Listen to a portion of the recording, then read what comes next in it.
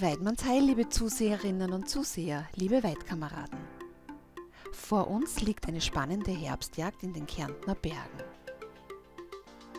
Die Vorfreude ist groß, denn eine Bergjagd ist für uns nicht alltäglich. Nachdem es ein Jahr später zu einem Wächterwechsel kam, war es auch das letzte Mal, dass wir in diesem Revier jagen konnten. Die für uns unvergesslichen Eindrücke und Erinnerungen haben wir in diesem Video zusammengefasst.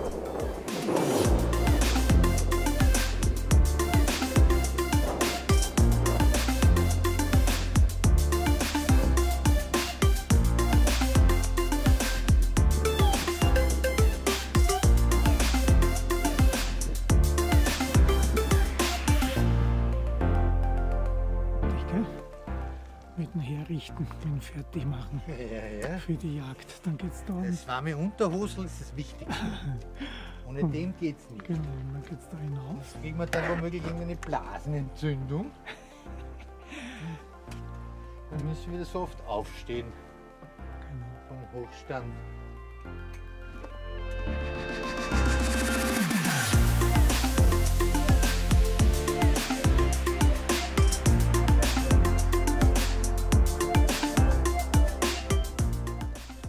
Keine Zeit mehr, die Zimmer zu beziehen. Rasch wurde das Nötigste herausgekramt und kurze Zeit später ging es los. Vor uns lagen zwei Ansitze, wobei zumindest einer mit herrlichem Anblick und aufregenden Jagdmomenten trotz heftigem Sturm belohnt wurde. Nicht vergessen, wenn euch unsere Filme gefallen, lasst doch einen Daumen hoch und bitte ein Abo für uns da. Schreibt uns doch in euren Kommentaren, was ihr zu dieser Jagd zu sagen habt.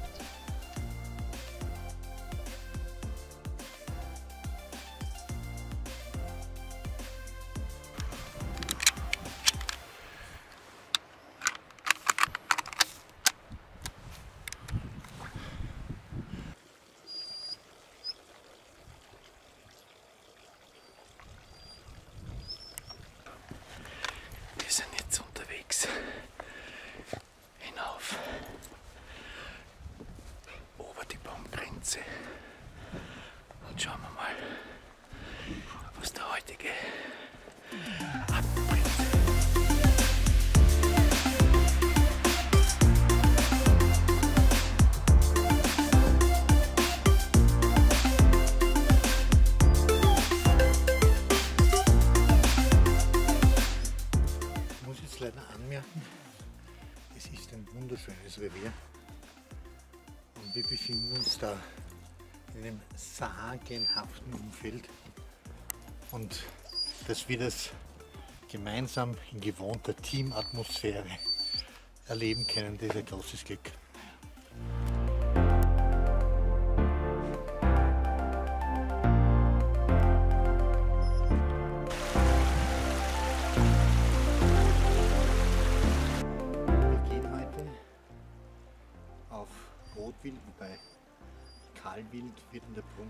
Geschont. Wir haben vor, einen Hirsch bis zu einem Achter zu erlegen und Gemsen ohne Kategoriebeschränkung. Und falls ein Rehbock noch kommen sollte, ist auch dieser frei. Wir freuen uns wahnsinnig da jetzt auf den Ansitz.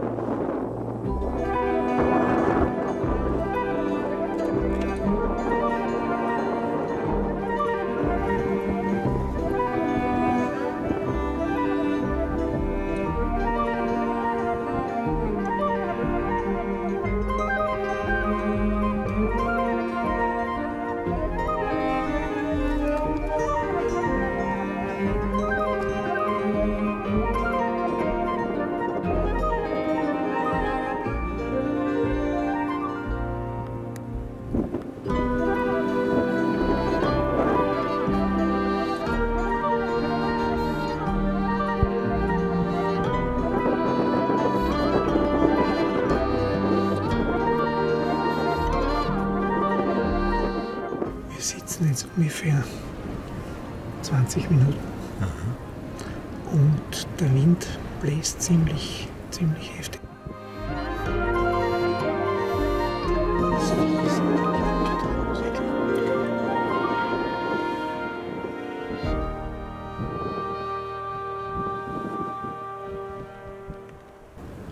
It's a windy situation Genau, and this is not very promising. not promising.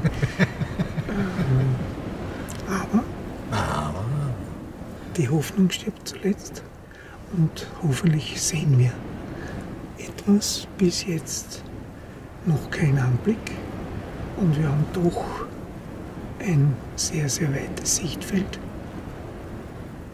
Ja, aber so ist es bei der Jagerei. Es kann nicht alles gleich innerhalb der ersten fünf Minuten, wie wir es normalerweise heuer gewohnt sind. stimmt. Sie sind irgendwie enttäuschend. Nein, es ist wunderschön.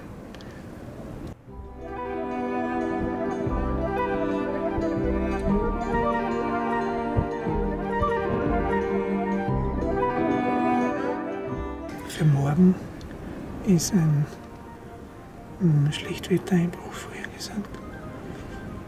wo es regnen wird und in der Höhe, wo wir uns befinden, könnte schon sein, dass ein bisschen Schnee dazukommt.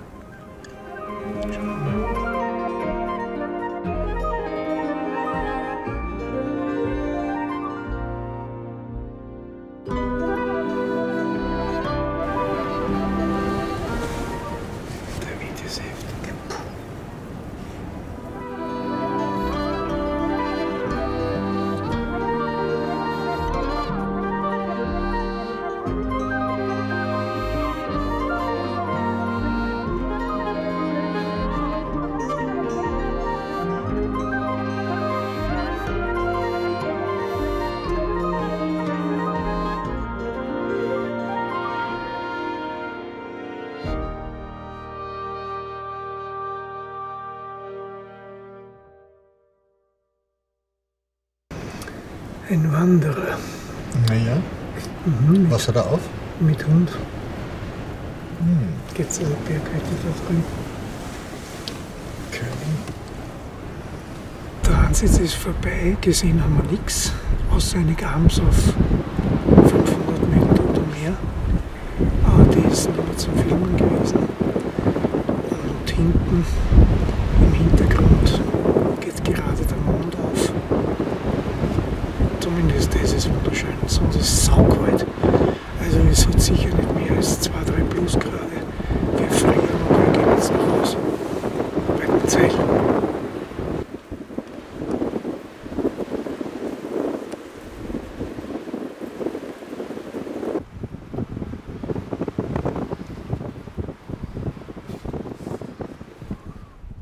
Guten Morgen.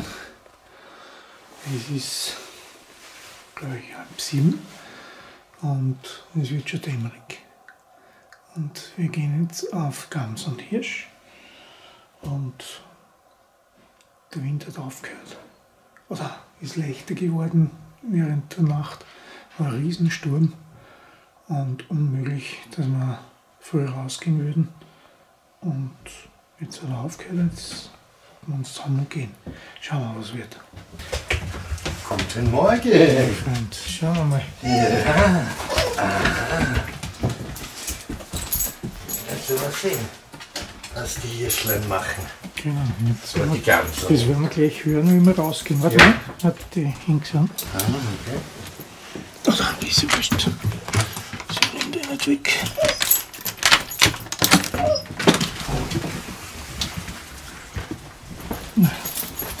Hat er nicht, der Wind. Gell? Okay, ne, das Da müssen wir noch abdrehen. Wie ein, wie ein Windhund. Das ist, glaube ich, Ja. Warte mal, hören wir mal eine. Ob wir was hören.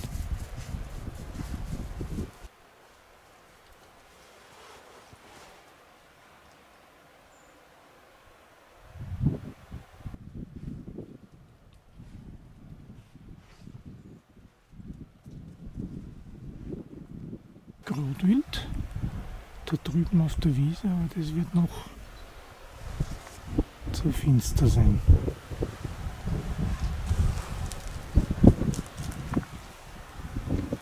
Ja, das sieht man nichts. Naja, aber das ist einmal sehr Das ist ein gutes Zeichen. positiv.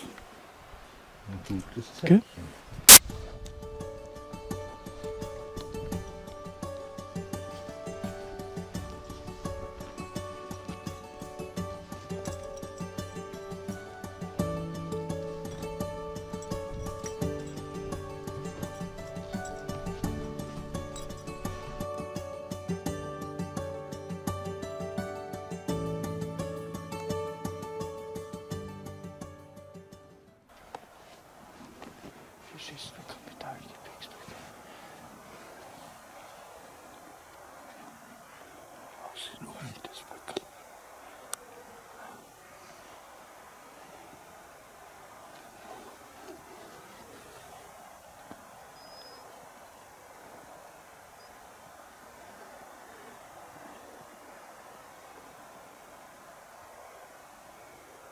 Ja, guck mal, sie ins Gesicht. Das ausschaut wie Arbeit.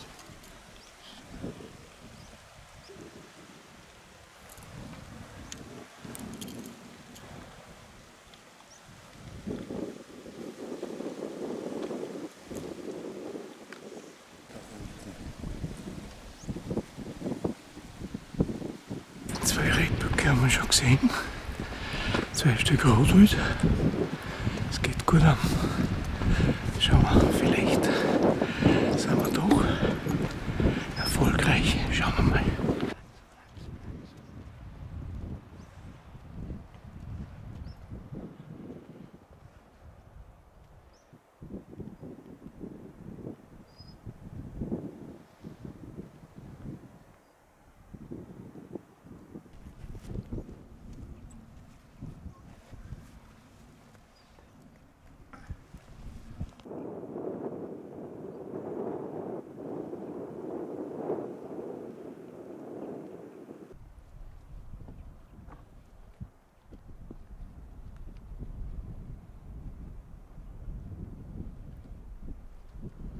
Bastığın düşesin.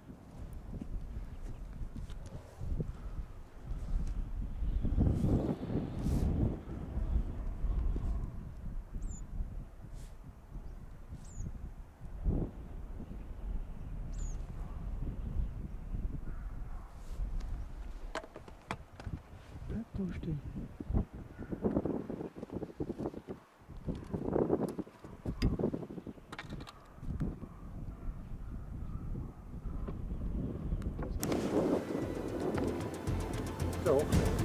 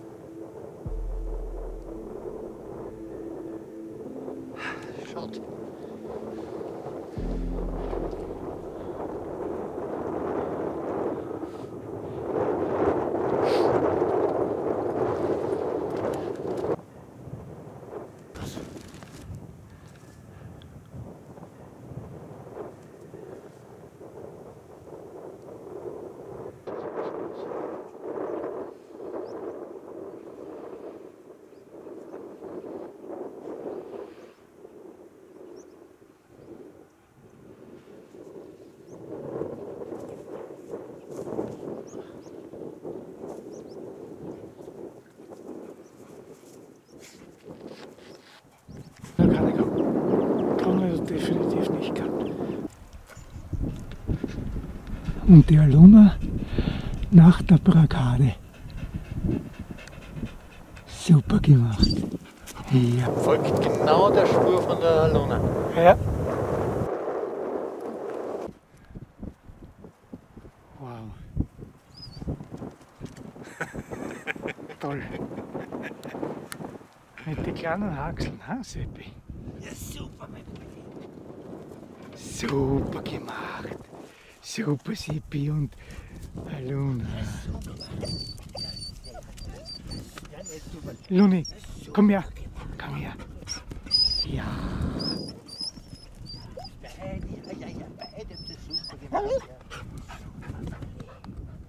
Gute Jagd. Tolle Jagd.